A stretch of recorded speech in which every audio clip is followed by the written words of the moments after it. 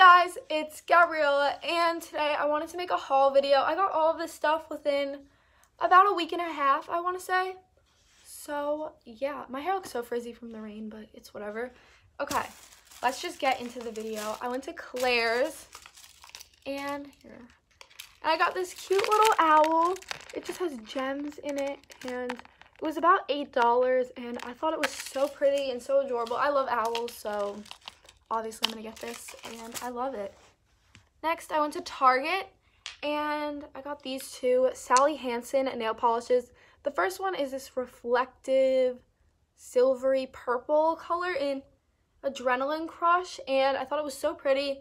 And then I got this one which was a glitter in Strobe Light and I used them together on my nails and I think that they look so pretty. I love it together. This was about hmm, it was like $8, I want to say. Yeah, so kind of expensive. And then this was about $3, I want to say too. And I just think these work together really good. And I know I'm going to use these together in the future as well because I love the way it looks on my nails. So, yeah. Next thing I got was this Maybelline Baby Lip Color Crayon in the shade Ravishing Red. I'm going to put a little bit on.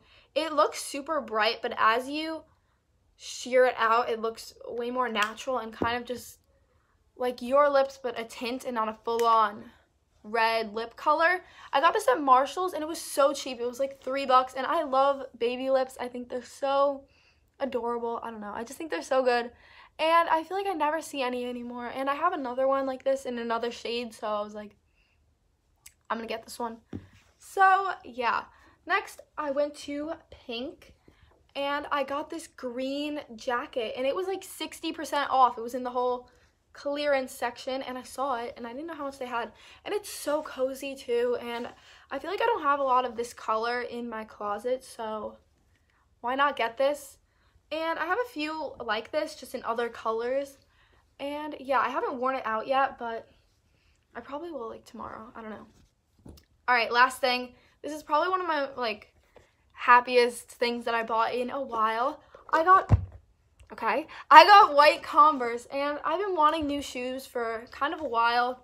So I finally got them. These are kind of expensive. They're like $55 and the last shoes I had were black and white Vans and I just wanted new ones and here's what they look like. They have the red and blue stripe on them and I just think they look so good. I wore them out for the first time today and I love them. I think it was such a good thing to get. So yeah, is that everything? Yeah, that was everything. Okay, so kind of just a short haul. If you guys like what you saw, please subscribe and like the video.